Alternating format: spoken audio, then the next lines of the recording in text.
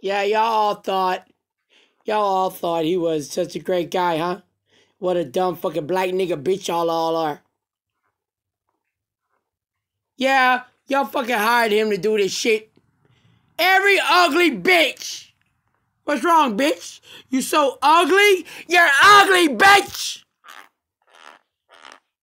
Black whore!